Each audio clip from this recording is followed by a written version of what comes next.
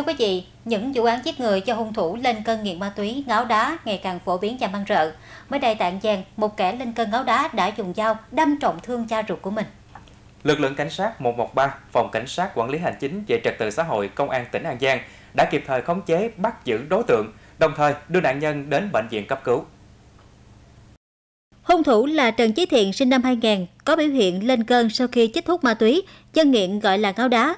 Cụ thể, khoảng 10 giờ sáng ngày 30 tháng 3, Công an tỉnh An Giang nhận tin báo của người dân về việc Thiện có biểu hiện ngáo đá, dùng dao đâm ông giờ 42 tuổi, cha ruột của Thiện, gây thương tích.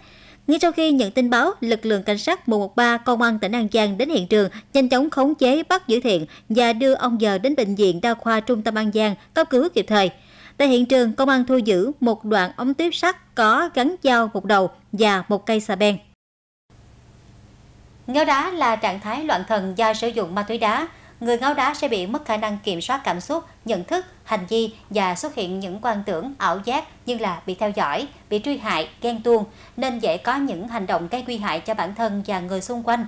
Điều đáng lo ngại là các đối tượng sử dụng ma túy thường có diễn biến tâm thần âm thầm, người ngoài khó nhận biết để sớm ngăn chặn.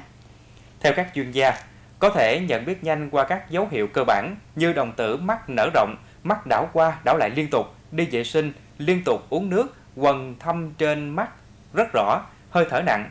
Khi bị ngáo đá, đối tượng có những hành vi bất thường, mất kiểm soát như nói lảm nhảm, la hét, đập phá, leo trèo, hung hãn. Khi bản thân bị đối tượng ngáo đá bất ngờ khống chế thì cần phải bình tĩnh, làm theo yêu cầu của đối tượng, so dịu đối tượng, tìm cơ hội chạy thoát hoặc khống chế đối tượng.